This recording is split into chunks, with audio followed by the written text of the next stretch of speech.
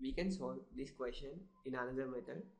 So now let us try this method that here he has given that ABC is isosceles triangle.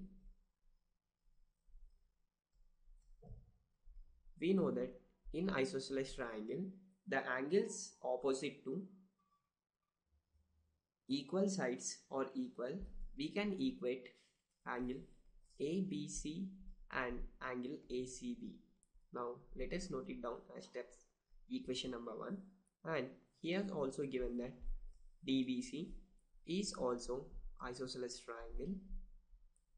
And therefore by applying the same concept that angles opposite to equal sides or equal angle DBC is equal to angle DCB and let us note it down as second equation now, by adding both the equations, we get angle ABC plus angle DBC is equal to angle ACB plus angle DCB.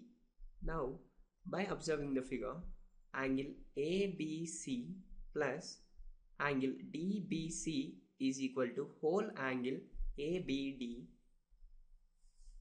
which is equal to angle ACB plus angle DCB is equal to whole angle ACD which is our required proof.